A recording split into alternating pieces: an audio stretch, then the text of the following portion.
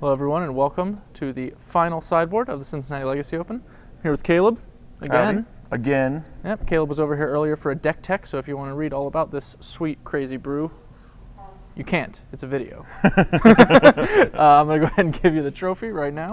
I'll probably write an article about it in the near future. Ah, So, yes. Uh, you can find that on Channel Fireball, where your columnist, columnist regularly posting a lot of strange legacy decks. The legacy weapon. Legacy weapon, indeed. Uh, a real life quote from the coverage of your finals match Signet time is over, it's Karn time. I just thought I'd throw that out. That's something I'm pretty sure I never would have thought I'd hear in Legacy. Karn is sick. How did your Signets and Karns play with you? I mean, obviously, you haven't gotten to play them now. You know, Scars is gone, so you can't really play these artifacts into Karn strategies anymore. So now that you're in. You mean in standard? What are you yeah. talking about? No, oh. now you got to move your Karns into Oh, Legacy. right. Yeah, yeah. That's actually probably why I started playing with it. Just missed him? yeah. Well, the the last uh, standard open, um, I can't remember where it was, where where Scars was legal. I was like, man, I have to play Tezzerets at least once. This is like the most fun card in standard. And I like threw some Staff of Nins in there, and I was like metamorphing Staff of Nin is the best thing ever. I even I even uh, illusioned a uh, Staff of Nin once because I like made the staff five five with Karn so I could image it and like. this- Anyway, um, but yeah, Tezzeret's like one of the most fun cards in existence. Sure. It does all these sweet things. It's really powerful. It's probably it's probably if you have a deck built around it, the, the most powerful planeswalker. Um, I mean, except for Karn. Except for Karn and But they, but it's probably because they both eat other planeswalkers. Sure, they sure. Devour them. Nom, nom, I nom, mean, nom, nom. they, they create powerful board presences. It's really hard for your opponent to Right, fight back against one, an unchecked one. It's similar to a Jace in that once you start pulling ahead, you just keep getting farther and farther Right. ahead. Yeah.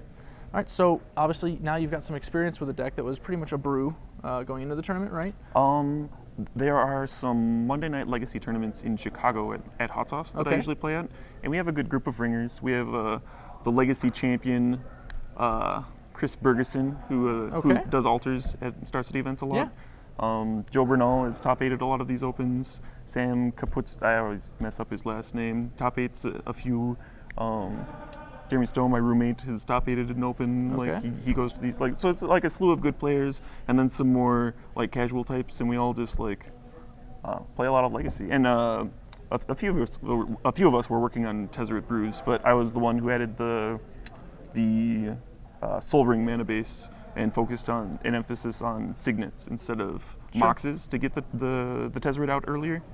Um, and they were working with Temporal Mastery, which uh, Adam Prosak did uh, a bit ago. He top 32 in an event. Yeah, I think I recall that event actually. Right, with also with temporal mastery in, in his Tezzeret deck, um, and they and both of and both the group that I was working with and Prosak had, were, were using like tops and stuff to set up the the miracle, um, but it's it's not quite as consistent as the list I brought. Not as, Sure. not quite as resilient.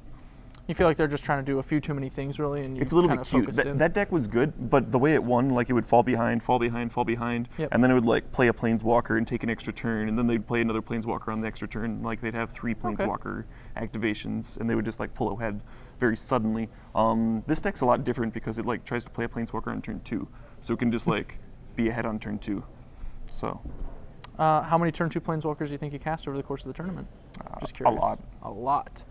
Not not a lot, not a lot, a lot. Probably like um, two every five or six games, Okay. five to seven games. I That's don't know. still a pretty a pretty stern margin, really. Right. Well, I mean, you have six Sol lands Yeah, and six talismans, and like, you're more likely to keep a hand that can turn to a sweet planeswalker than not.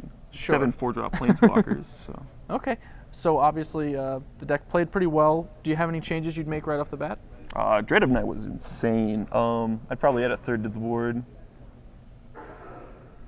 That's pretty much it. Yeah. All right, sweet. Sweet.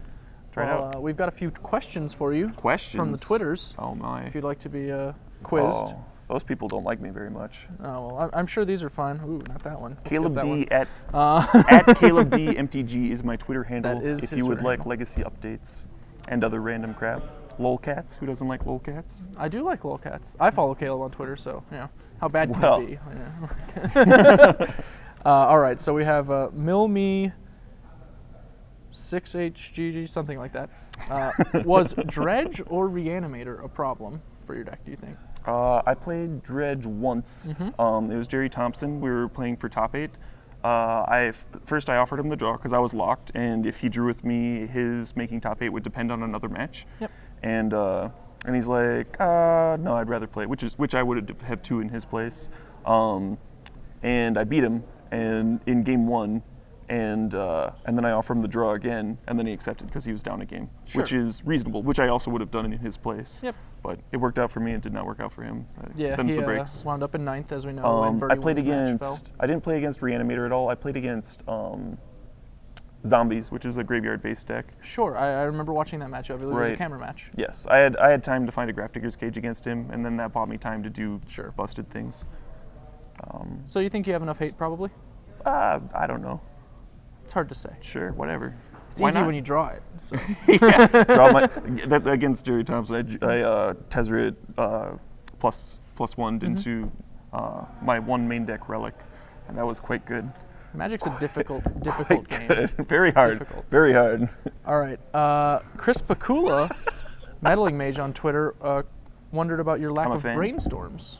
Oh, brainstorm! I tested it. It was it was awkward. It makes you run a stifle, uh, not friendly mana base. So like rug gains percentages because they can stifle your fetches all of a sudden because you're running enough shuffle effects. And then um, like chalice at one isn't nearly as good. And you really don't want to be casting brainstorm in the early turns of the game. You want to be like signet go or or what have you.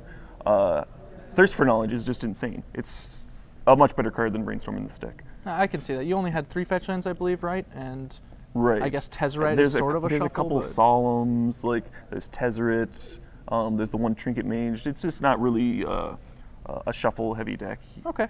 Um, but yeah, Tezzeret and, and the, the Jace work pretty well together. Like put two lands back, Sure. Tezzeret plus one. Yeah, they, they need the help. So They do, Uh, they do. our our last question comes from Serenus X Tempest on Twitter. Okay. Was your beard crucial to victory? Definitely. Um, partially because uh, I don't spend time shaving, and the time I don't spend shaving, I can spend doing more manly things like playing Magic constantly. Uh, not much sleeping, mostly just Magic. I sleep. Sure. Well, I mean, you do coverage. Yeah, that's that's fair. That's fair to say. I'll accept that one. All right, we're gonna go ahead and let Caleb and his car mates begin the drive. Oh, d- don't we have more questions? No, I think we have a lot more questions. We're, we're all out right now. It's got the crazies. Well, my, my, my car is about to leave me, so All right, Caleb. Thank you. Yep, Once for again, sure. Always a pleasure. thank you, everyone.